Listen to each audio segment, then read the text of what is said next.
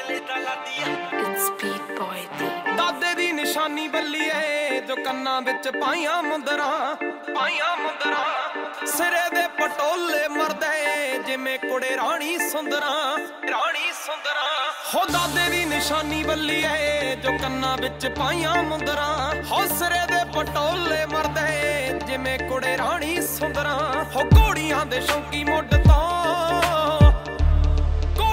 ਸ਼ੌਂਕੀ ਮੁੱਢ ਤੋਂ ਮੇਰੇ ਸਾਰੇ ਚਾਚੇ ਤਾਏ ਨੀ ਪਿੰਡਾਂ ਵਾਲੇ